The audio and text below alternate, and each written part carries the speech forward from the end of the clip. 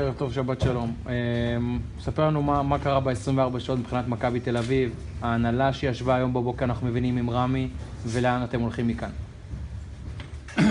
אמש אה, לאחר המשחק אה, רמי היה מאוד נסער. הוא הודיע שהוא רוצה להיפגש, והיום אצלי בבית בבוקר חגי, רמי ואני נפגשנו, והודיע שהוא מרגיש שאזלו לו האנרגיות, והוא התנהג כמו גבר כפי שהוא התנהג כל התקופה הזו. דיבר ישר בגובה העיניים, אמר, אני לא יכול להוביל את הקבוצה מהמקום שבו היא נמצאת, ואני מבקש שתשחררו אותי. ואנחנו, מפאת כבודו, נענינו לבקשתו, יכולים רק להודות על התקופה שהוא היה איתנו ועל שלושת ניצחונות החוץ שהוא הוביל אותנו אליהם.